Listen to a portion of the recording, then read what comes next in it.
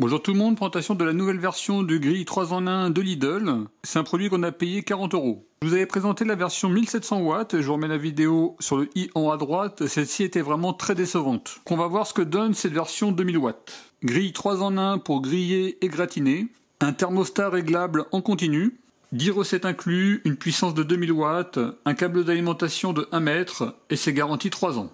Les plaques sont amovibles en aluminium à revêtement anti-adhérent ILAG. On y trouve la notice d'utilisation. Il y a une petite procédure avant la première utilisation je vous invite à consulter la notice. Concernant le régulateur de température, vous avez trois niveaux. Niveau 1, c'est un niveau de préchauffage, température basse. Niveau 2, c'est des températures moyennes, par exemple la cuisson de légumes. Et niveau de cuisson 3, c'est des températures élevées pour rôtir une viande, par exemple. Un racloir de nettoyage et le grille. Sur la partie avant, vous avez une poignée. Sur la partie droite, le thermostat jusqu'au niveau maximum, avec un indicateur de fonctionnement et un indicateur quand c'est prêt. Si vous tirez, vous avez le bac à graisse. Et celui-ci est intégré directement. Vous avez un bouton pour libérer les plaques. Vous appuyez et les plaques se débloquent. Là, vous voyez la plaque. L'élément de chauffe. J'espère que le système de thermostat sera meilleur avec celui-ci que l'autre. Pareil pour la plaque du haut. Le système pour retirer c'est rapide. Vous avez un système afin de régler très rapidement sur 5 niveaux.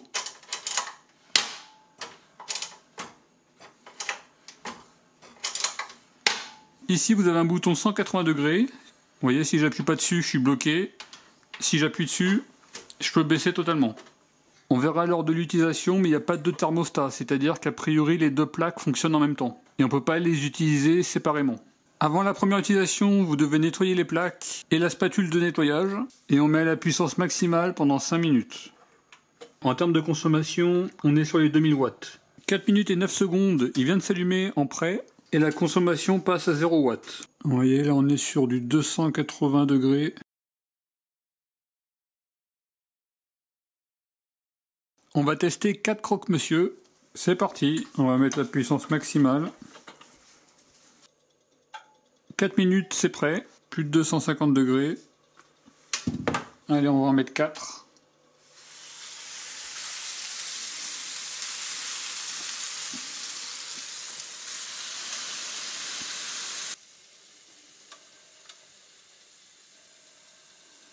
Là, j'ai pas réglé d'auteur, je suis sur minimum.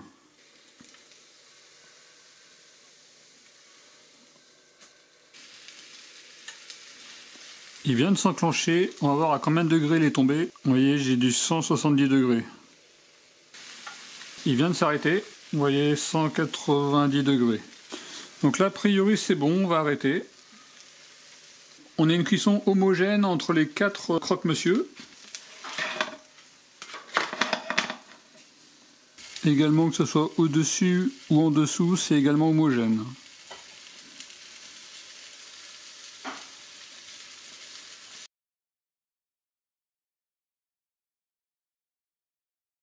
Faire 4 panini. C'est parti.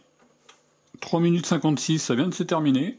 Voyez, 240, 250. Je vais un petit peu pencher la partie avant. Voilà. Donc là, vous voyez ce que ça peut donner sur des éléments épais.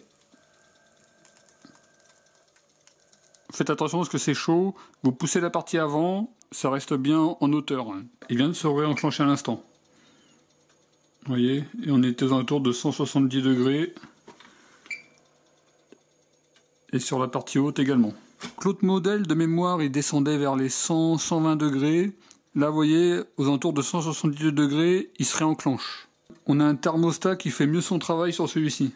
Là, il vient de s'arrêter et on est sur du 195 degrés.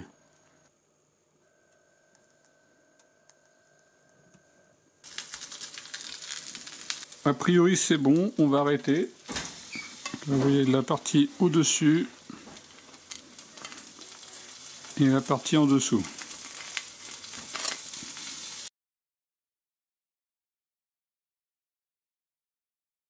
On va faire 4 steaks hachés. Allez, c'est parti 3 minutes 51, c'est prêt. Oui, donc on est toujours aux alentours de 4 minutes.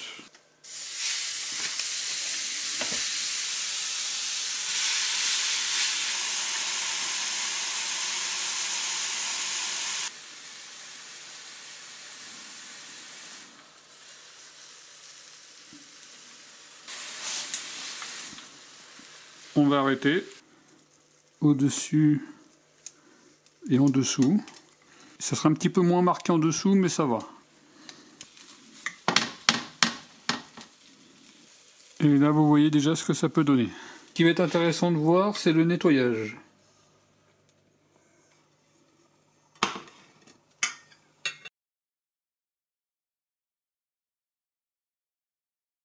On va nettoyer les plaques, je vais les faire tremper un petit peu dans de l'eau un petit peu tiède. Et je vais rajouter un petit peu de produit vaisselle. Pas de problème, ça se retire facilement. Vous voyez, ça adhère pas du tout.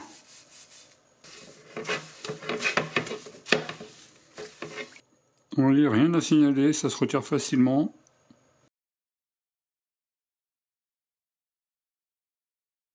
Là, vous avez des pieds qu'il faut lever. On appuie sur le bouton 180 degrés. C'est parti à la puissance maximale. 4 minutes, on approche des 200 degrés. 4 minutes et 30 secondes, c'est prêt. On est sur du 220 degrés.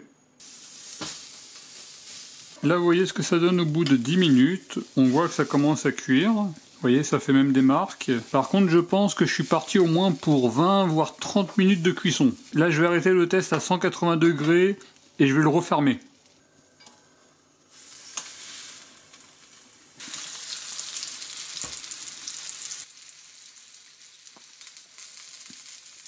À 180 degrés, je trouve que ça chauffe pas assez. Il vaut mieux le cuire fermé.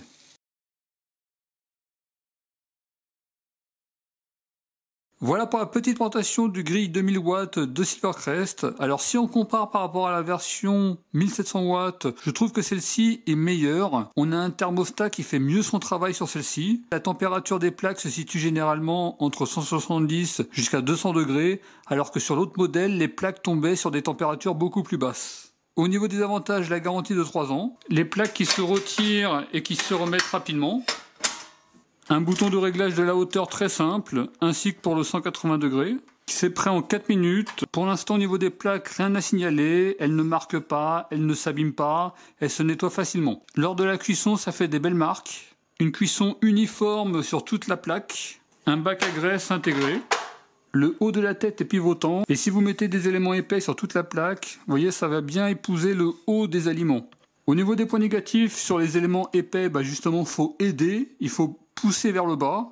Donc attention à ne pas vous brûler parce que c'est chaud. Il n'y a pas de thermostat qui permettrait un fonctionnement indépendant des plaques. Et en fonctionnement 180 degrés, il est lent. Merci de laisser vos avis en commentaire de la vidéo. En tout cas, je vous remercie d'avoir regardé cette vidéo et je vous dis à très bientôt. Au revoir.